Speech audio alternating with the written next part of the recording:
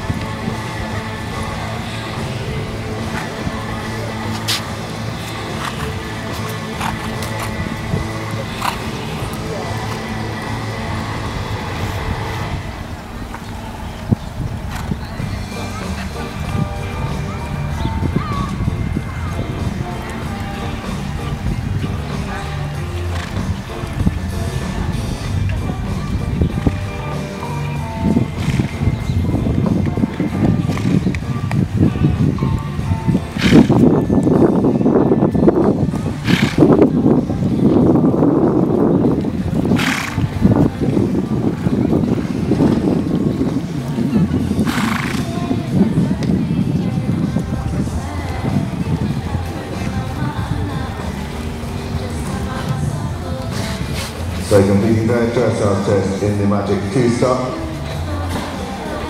Coral Key and Zoe